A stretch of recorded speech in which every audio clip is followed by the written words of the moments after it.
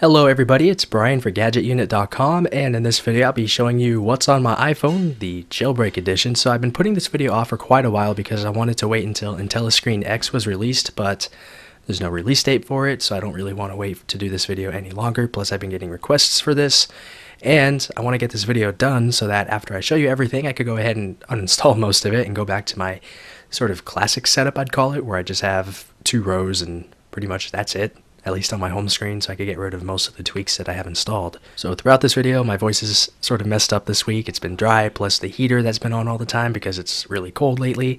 I have to sort of cough every 30 seconds or so to sort of get my voice back a little bit. Anyway, here is the lock screen, and as you can tell, the top and bottom grabbers are removed. The slide to unlock text is gone as well. All that was done thanks to a free tweak called Custom LS from Cydia. And I guess I'll go ahead and show you the settings for that. So going down here to, as you can tell, I have a whole bunch of things installed. I, this is way more than I've ever had installed after being jailbroken ever before. I've been doing this since like 2008 and never once have I had this many individual tweaks installed. So it's a little bit overwhelming. But like I said, after I do this video, I'm going to go ahead and get rid of pretty much most of these, and then I'll do another follow-up video in a couple of weeks or so to show you to show you my more simple setup. So custom LS is right here. These are the settings. Pretty simple and straightforward. And here's my lock screen. As you can tell, the widget is probably the most eye-catching thing here. That's done through a pack called iWidgets Pack S. That's a paid pack for the free tweak called iWidgets. So that's where that came from. You could actually interact with it a little bit. So you could tap the bottom area and it'll go ahead and show you your forecast. So that's kind of cool. Now, if you look at the icons, you can see that they have sort of an iOS 6 style design to it, and that was thanks to Iconomatic, and that's done across every icon, which is kind of cool. The 4x4 folders are done through Springtomize 3, as you can see. And, oh, Games folder, Flappy Bird, that's going to be removed soon as well.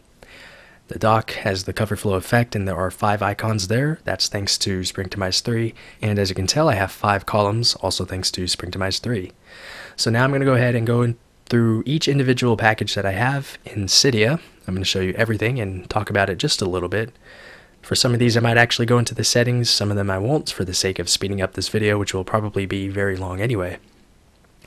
So the first up is Activator. Everybody knows what this is about, but it allows you to use certain gestures to perform different things or uh, open different apps, for example. So one of the things that you can do is use three fingers to, uh, to pinch on your screen and move to the next song, for example. That's just one of the many different things that you can do with it. Right now, the only thing that I have set up to do is for the triple click home button. It just brings up the display recorder prompt so I could record my screen. Below Activator is a paid tweak called Ad Blocker, which allows you to block advertisements on websites which frees up memory and the CPU resources. It loads pages faster, so those are a few of the very good benefits of Ad Blocker. Next up is a free tweak called Always Clear, and if you bring down Notification Center, instead of having to tap on the X for something that you'd like to get rid of, the clear button is there automatically.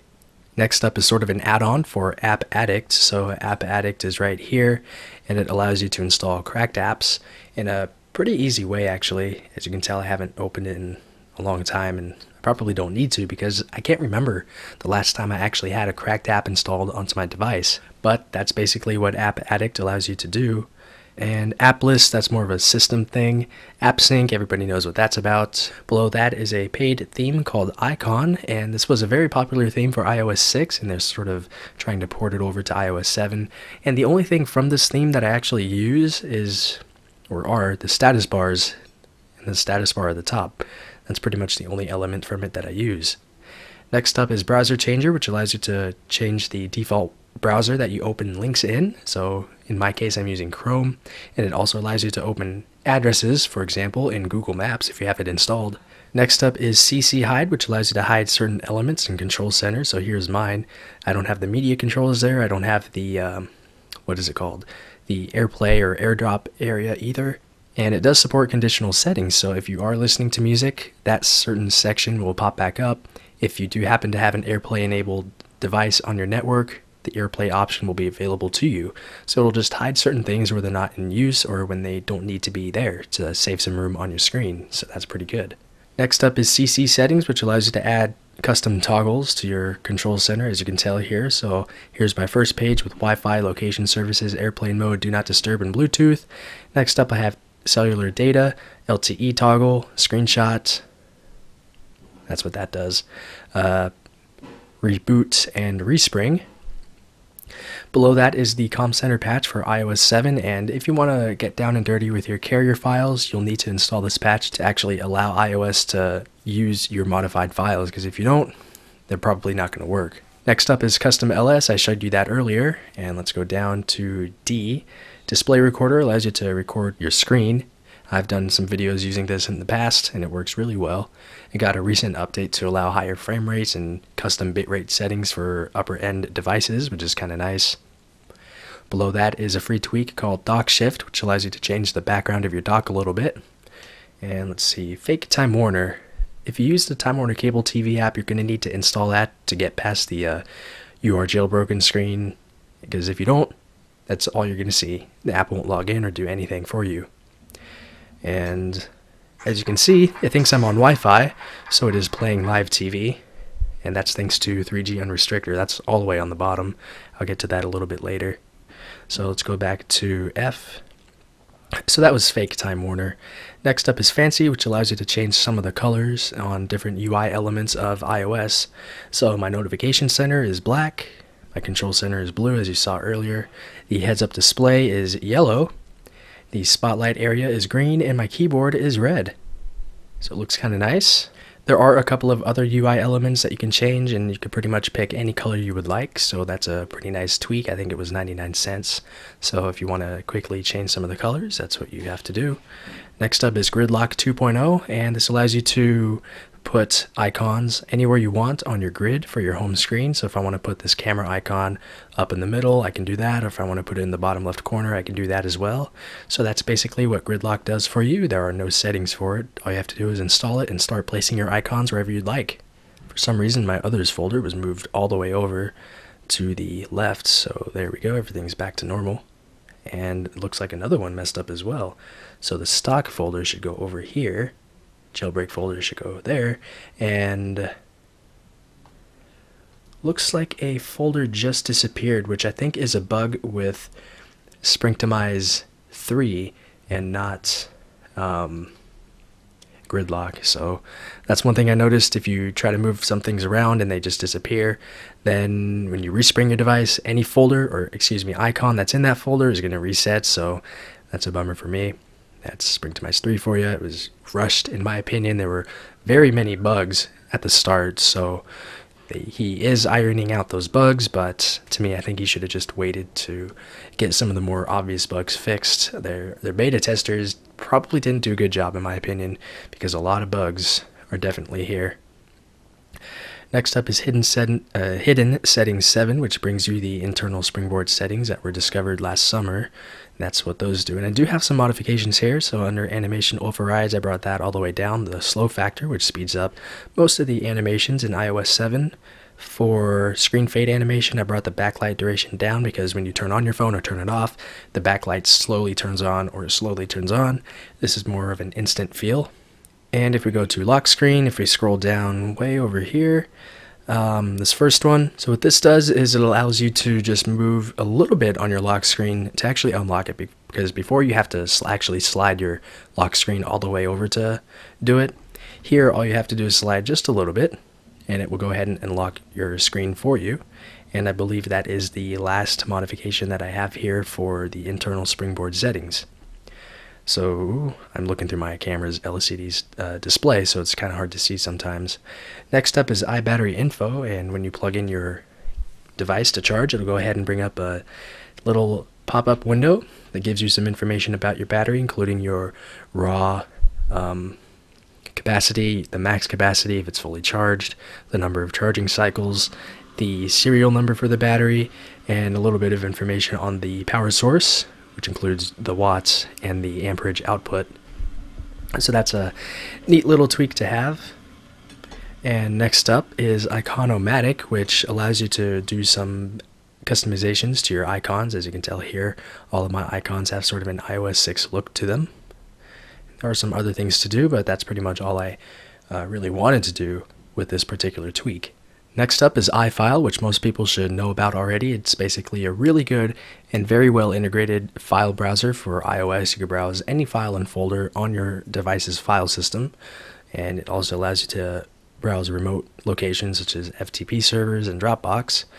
Next up is Infinite Tweet 2, which allows you to use TwitLonger for many different Twitter clients. I use it with Tweetbot, and sometimes when you want to type more than 140 characters, you would have to manually go into your web browser, go to twitlonger.com, and make your post that way. But Infinite Tweet allows you to do that from right within your Twitter client, which is nice. Next up is iWidgets, which I showed you earlier. All you have to do to actually use that tweak is tap and hold on any blank area on your home screen, and up comes the widgets menu, and you could add any widget that you'd like. Again, the one I'm using is HTC Forecast. Here are the different settings you could do. Then you just add it just like that. You can move them around like so. Pretty nice tweak if you want to get widgets on your home screen. This isn't the most appealing widget that I have, but for me it's the most complete in terms of what I wanted, which was a big clock, my weather forecast, the date, and maybe a forecast like that.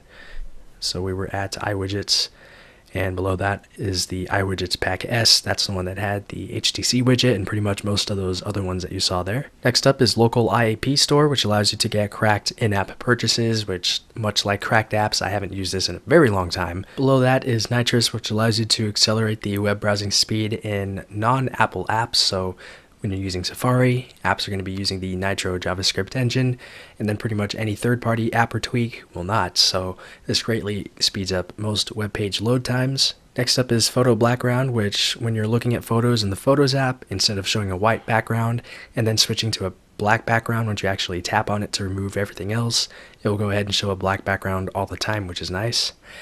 Next up is ProTube, a paid application which allows you to, I can't get to it now because my jailbreak folder is gone, obviously, but it allows you to, maybe it shows up in Spotlight. Let me go ahead and open it up that way. Yep. So this allows you to browse YouTube and download and stream certain videos, or any video for that matter. It allows you to download them. I've been using this to download all of my daily YouTube videos to watch over LTE, of course, thanks to T-Mobile's truly unlimited data plan. That's nice to have again. AT&T got rid of mine over two years ago, so it's nice to be able to not have to worry about how much data I can use monthly. Anyway, that was ProTube. Next up is Repower, and when you hold the uh, the power button, you'll see some information here. So it shows you your device's uptime. I rebooted my device nine and a half hours ago. You can uh, reboot your device and respring your device from there as well. Next up is RetroArch, which is an all-in-one emulator, which allows you to play N64 games, Game Boy Color games, PlayStation games, and a number of other consoles, all from right within that app. It's really deep in terms of what it can do, and it works extremely well for most games. Of course, this is on an iPhone 5S, so your performance may vary on your particular device. It also supports pretty much any external device that you want to use for playing games, such as made for iPhone controllers. You could use Bluetooth keyboard and some other devices, such as a PS3 controller, for instance. Next up is Share Widget for iOS 7. So if I go over to my Today page, you can see that we do have a number of uh, social options Twitter, Facebook, email, or uh, SMS or iMessage thing, which allows you to just tap on it and you can customize or, excuse me, compose anything you want. Next up is Springtomize 3, and as I mentioned earlier, I think that this tweak was rushed. Uh, in terms of what it can do, not as much as Springtomize 2 in my opinion, and of course it is filled with bugs, but he is fixing things fairly quickly. Basically, what Springtomize 3 allows you to do is a lot of small customizations to iOS. As you can see here, these are all the different things that you can do, at least at this point in time. Uh, let me show you my folder setup real quick. These are all of my options for my folders if you happen to be interested. Uh, here are my dock settings if you happen to be interested in those as well. Uh, here are my icon settings Here's where I hide or hid all of my icons that I don't want. Um, lock screen settings, I don't have anything going on there. Page settings. Um, what else? The status bar, I don't have anything modified there. So that's pretty much Springtomize 3. Next up, I have Status Bar Fix 2 installed, which is what fixes the uh, missing status bar in a lot of different apps, or not missing rather, but it's pretty much where the status bar stays there when it should actually be hidden, so that fixes most of the problems that people have. Next up is swipe selection, which allows you to use the keyboard gestures to move across different things. So, for example, if I type this is a test, you could just swipe across the keyboard to move the cursor, or if you start from the shift key or the backspace key, you could actually select and highlight text like this. So that's pretty convenient a lot of the time. I thought that it would get in the way of my typing, and it does just a little bit, but making those mistakes will actually allow you to learn to actually lift your fingers up more instead of sort of dragging them along the keyboard when you're going to different keys. Next up, I have T-Mobile Zeppelin logos, which changes the carrier logo up in the corner to the more T-Mobile logo there. So that's what I have installed for Zeppelin. I don't use any other Zeppelin icons, and if you're still don't know what Zeppelin is, it basically allows you to change your carrier logo at the top to whatever text you want or to pretty much whatever image you'd like. Next up, I have Video Pace, which allows you to speed up the playback speed of videos. So if I go into the settings real quick, here are all of your speed options. I usually go to 100 times or 100% faster, which is pretty much two times speed, and that allows me to watch twice as many videos in the same amount of time. So that is pretty much why. So if I play this video, you'll see that it is played back at twice the speed. As you see there. So that's what Video Pace does, and it's for me, I like it because, like I said, it allows me to watch twice as many videos in half the amount of time. Videos do look a little bit weird because everything is sped up twice as fast, and the audio is twice as fast as well, but not fast enough to where you can't understand what's being said. Next up is Winterboard, which allows you to actually theme your device. That's that's pretty much self-explanatory. It's been around for ages. Next up is Zeppelin, which is actually what manages the carrier icons and text at the top, as I just mentioned. Last up is 3G Unrestrictor, which allows you to trick your device into thinking that you're actually on Wi-Fi. So you could use this for software updates. You could use this for apps like Time Warner Cable TV, because usually with this app, you have to be on Wi-Fi to watch live content elsewhere. Uh, as you can sell or tell, it thinks I'm on Wi-Fi, so that's why that works. Um, so those are just a couple of examples of 3G Unrestrictor. And that's pretty much it right now. That is everything that I have installed on my iPhone. Once again, as soon as I finish recording this video, I'm going to get rid of most of these tweaks because frankly, I just don't need them. As cool and nice as they are, I just don't need them. So I, I'm just going to go back to my simple classic setup so that's it with this video. If you have any comments, questions, or feedback about this or anything else, feel free to leave those down below in the comments area. And as I mentioned earlier, when I tried moving around the folders, anything that disappears is just going to reset once you respring, so I'll have to get that sorted out again.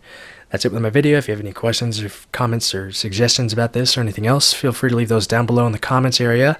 But that's it with the video. So thanks a lot for watching, and I'll talk to you all very soon.